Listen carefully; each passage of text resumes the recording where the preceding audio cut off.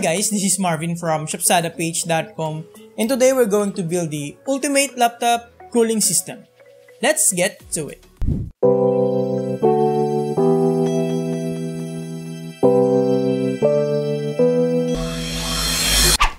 So I recently reviewed this laptop vacuum cooler and it's actually effective.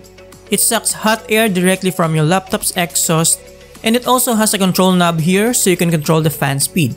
It also comes with different vacuum sealers so you can use it on most laptops. Now, I also have the commonly used laptop cooling pad right here and I'm interested to find out what's more effective between this laptop cooling pad and this laptop vacuum cooler.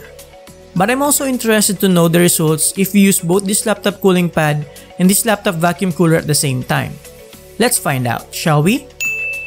By the way guys, what I have here is a laptop cooling pad with two fans from a company called TechCool.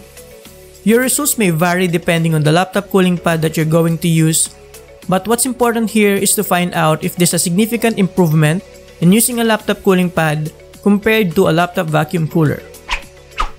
For this test, I set a baseline by recording the temperature of the laptop's processor using AIDA64 without any cooling device on both idle and during load which is by playing CSGO for about 5 to 6 rounds and then I shut down the laptop to let it cool down in between tests.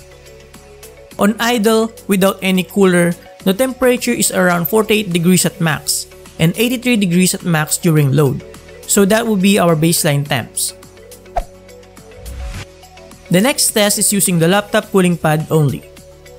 During idle, the temperature is around 49 degrees at max and during load, it maxed out around 80 degrees so there's only a 3 degrees difference when using a laptop cooling pad during load. Just take note that we're just looking at the CPU temperature here guys. Next is using the laptop vacuum cooler only. At idle, the temperature is around 44 degrees at max and just around 72 degrees at max during load, which is a whopping 10 degrees difference compared to no cooling device and 7 degrees cooler than using the laptop cooling pad.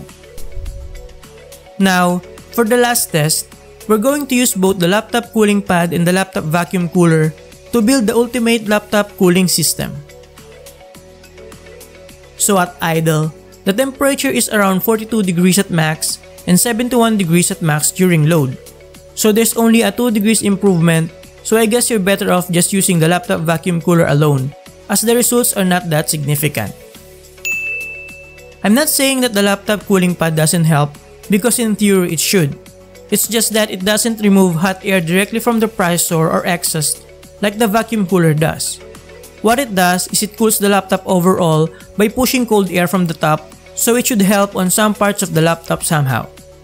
The ideal setup would be the combination of both these devices as it yields the best results. However, in terms of practicality, space, and ease of use, not to mention budget, you can go by just using the vacuum cooler. But if those factors don't matter, then by any means go for the ultimate laptop cooling system. Let me know guys in the comments below if this test helped you decide which laptop cooling device to get and if you have any suggestions for other devices like these too.